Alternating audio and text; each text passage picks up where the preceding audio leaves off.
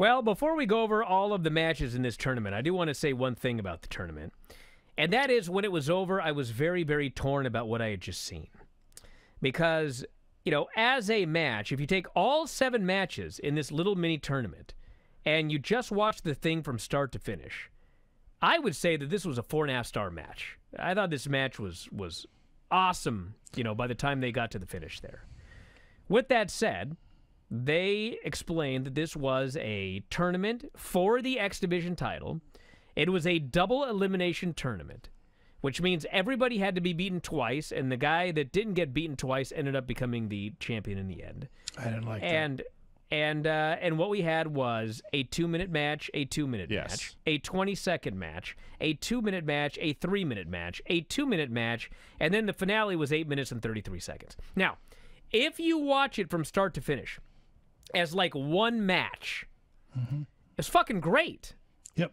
But to me, you are trying to sell weekly pay per views. You are trying to give people a, an incentive to watch this show every single week for $9.99 or whatever. Which, when you think about charging $9.99 in 2002, I mean, they were asking like, what, maybe 20 bucks nowadays, $15.99, $16.99, whatever. But, you know, to me, it's like you could have taken all seven of these matches and stretched this tournament out over seven weeks, given everybody, you know, 12, 15, 17 minutes per match. And I think that you would have sold seven weeks worth of pay per views because every single one of these matches, you know, at 14 minutes, 16 minutes, or whatever, would have been fucking awesome. And you could have had the stats on the screen. And man, Low Ki's lost once, but AJ's lost. He hasn't lost at all. So blah, blah, blah, blah. I mean, they had a story here. And I just felt like, what a waste to condense all of this into one, like, 25 minute segment and and crown a champion. You you could have gotten so many weeks out of this. And I mean, as a fan, if you would have started with what was the first match that they did in this tournament? It was uh, Psychosis and AJ. You have those two guys go out there and just do a 14 minute Psychosis AJ Styles match, and then go that's that's match one. You know, we could have as many as seven more or whatever. I mean, dude, I'd be all ready. And uh, they didn't do that, so I was I was disappointed in that sense. But you know, as far as a match, a one night you know weird weird ass tournament thing they did, I thought it was awesome. It didn't make it didn't make a lot of sense because everything started immediately, so it felt like one long match. And then when you had to get beaten twice at the end, spoiler alert, the the guy that wins in the end beats the guy twice in a row. Yes. And if you're looking at And they it actually they actually spoiled it because I mean we are going to spoil it here, but the second to last match was AJ versus Jerry Lynn. And AJ had been pinned once and Jerry Lynn had not been pinned at all, okay? Correct. So, either AJ was going to uh, pin him and then have to beat him Twice. again to win, or Jerry Lynn was just going to beat him and the thing would be over. But what they did was they said, for the final match, Ricky Steamboat is going to be the referee. So, in theory, because AJ had been uh, beaten once and Jerry Lynn hadn't been beaten at all, that could have been the final match. But they did not put Ricky Steamboat in the ring. So you knew, well, you know, they're going to do this and then whatever. It didn't matter. But I mean, I I I liked I you know I liked the booking for a one night tournament, but it was like so many of these matches. I mean, for fuck's sake, you know, AJ versus Low Ki, two fucking minutes. Uh, Jerry Lynn and Psychosis, two minutes. Jerry Lynn and Low Ki, three minutes. It's like, dude, give me these fucking matches. Uh, okay. Uh, yeah. I know. I, I I'm more on Bryan's side. I thought the first half of this was fun, but completely forgettable. It was like it's just like, oh, there's a cool move. There's a cool move. There's a pin. There's a cool move. There's a cool move. There's a pin. There's a cool move. There's a pin. There's a cool move. There's a cool. Okay, great. And then once it got down to AJ versus Jerry Lynn having to beat him twice in a row and, and kind of frantically trying to get that first pin, that part was awesome. The, the second half of this was was, outstanding, outstanding stuff. Um, there's a, a bunch of things. The the basic idea is one of those things where I kind of can't believe no one's ever tried this again in the next twenty some years. If if you got four or five hours of TV to fill every week, a wacky and they call it round robin, which is not true, but it was it was it was a gauntlet match, a double elimination gauntlet match is what it was. But you know, no no one's ever tried anything like this again. I don't know why. It's not like it was bad. Well, I mean, they haven't tried this, but I mean, we had a gauntlet match on Raw, and you know they did not do two minute matches. They they had each match go like twelve to fourteen minutes, and the entire gauntlet went an hour and twenty five minutes or something like that. And that thing did a gigantic rating. And so then you know they wanted to do it every week, and then it stopped working. But you know they if they would have started this match at the beginning, I mean they could have given every match a lot more time and had this go an hour and a half, and I think that would also have been better. So we will recap the big picture stuff. AJ starts, beats Psychosis in two minutes with a Styles Clash. Low Ki comes in. AJ beats him in about roughly two and a half minutes with a suplex facebuster combo thing. And then he is immediately struck from behind by a Jerry Lynn and pinned with a cradle pile driver. That gives AJ his first loss and sets up Jerry Lynn as undefeated.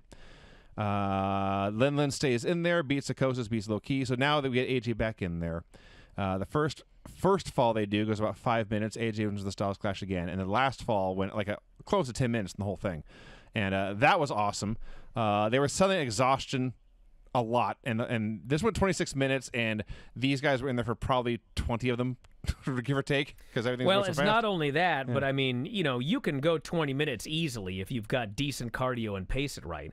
But the thing with this match is there was no. I mean, there was, yeah, by the end, you know, when they were doing AJ and Jerry Lynn, especially the second one when they were selling exhaustion. the last two they were- minutes, they like they did the pacing it. superplex, and nobody got up. Yeah, But I mean, once you know Jerry Lynn got into the third match, so it was Jerry Lynn versus AJ, and uh, you know that match with Psychosis that he had. I mean, that was a fucking sprint. Then he got in there with Low Ki.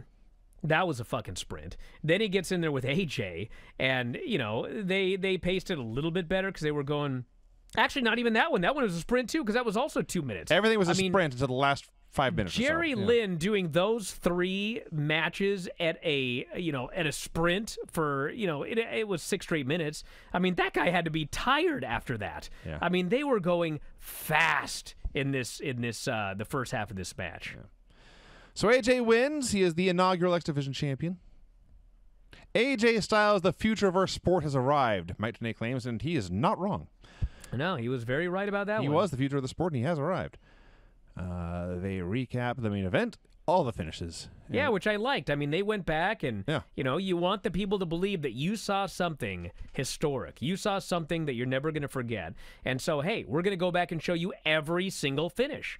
And they went back and they showed you the the tournament in, in capsule form. And I thought that was great. Like, we don't have enough recaps nowadays because people are afraid to do recaps because they don't want people to turn the channel. But recaps are good. Recaps make things seem important.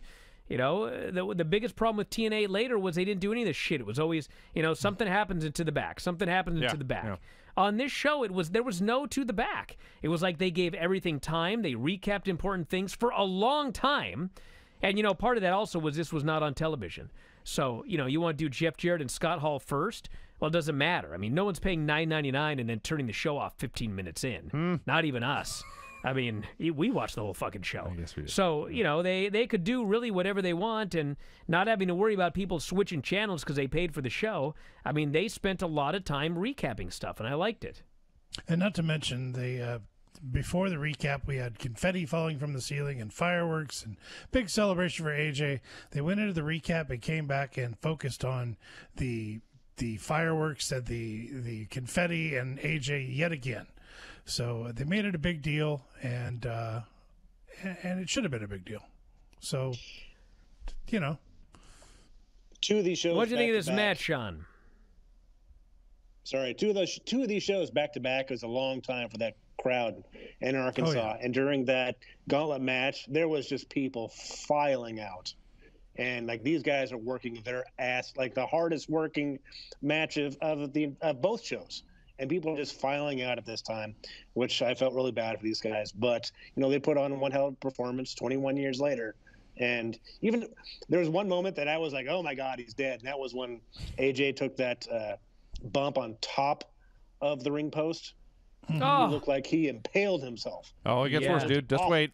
But yeah, give it a couple of years. You're going to be doing all this crazy shit where we thought he was going to be in a wheelchair at 40, and here he is at 46 or whatever, and he's still uh, working main events and having great matches. You know, the, the you, mentioned the crowd. Uh, when they started that first AJ Jerry Lynn match, that crowd was tired.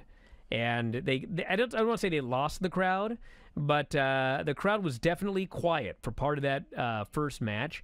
But they were so great in that match and in the main event that by the time they got to the final near falls at the end of this gauntlet, this fucking place was going crazy.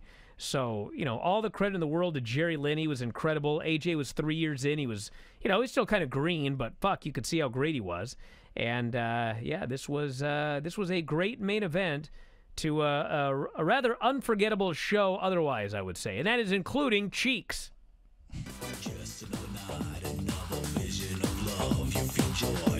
Playing v- I'm playing DJ tonight. Vinny, what are you wearing? I went with the uh, shirt and vest combo, which was, was in fact a thing in the '90s. We got Craig here, who appears to have. Uh, he's Craig Corrosion, Yeah. the Ultimate Warrior. Da, da, da, I'm wearing an Everclear T-shirt, one of my favorite bands from um, that decade. Granny actually has a special shirt on today. Granny, Granny is in her 90s. Yeah, would you like? kid. Yeah, she's in her 90s. That's how she's celebrating. She's the dressed 90s. in the 1890s. I got my kitties on. You got your what? Kitties. Oh, your kitties. That's not what you thought you said, Bryan. Yeah. Bye. All right, get out of here, Granny. Gret five. Happy 90s. I wish you wouldn't do that. What? Remind me all the time. No, we're doing a 90s, like the 1990s. We're doing a 90s party. Oh, okay. If you enjoy these videos, for just $7.99 per month, you can enjoy full length editions of The Bryan and Vinny Show, Wrestling Observer Live, Figure 4 Daily with Tom Lawler and Lance Storm, the Mad Men podcast, Speak Now Pro Wrestling with Denise Salcedo, and more, plus hundreds of archived shows, all in beautiful HD. Don't miss out. Join us today.